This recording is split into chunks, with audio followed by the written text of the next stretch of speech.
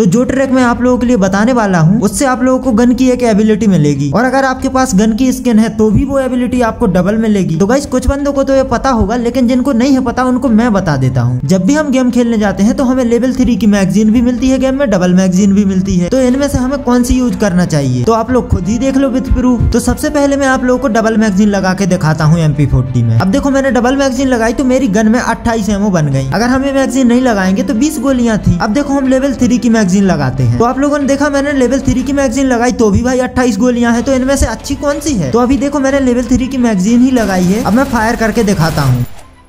तो आप लोगों ने देखा, इसने रिलोड कितनी देर में किया? अब यहीं पर हम डबल मैगजीन लगा के देखते हैं। तो देखो, मैंने डबल मैगजीन लगाई और फिर से मैंने फायर किया। अब देखो, इसकी रिलोड स्पीड कितनी ज़्यादा बढ़ गई। तो गाइस यही फ़ायदा है डबल मैगजीन में। तो इन दोनों में से डबल मैगजीन ज़्यादा बेस्ट है। इससे आपको रिलोड स्पीड डबल मिल रही है। तो ऐसे और अमेजिंग वीडियो देखने के लिए हमारे चैनल को लाइक शेयर सब्सक्राइब ज़रूर करें।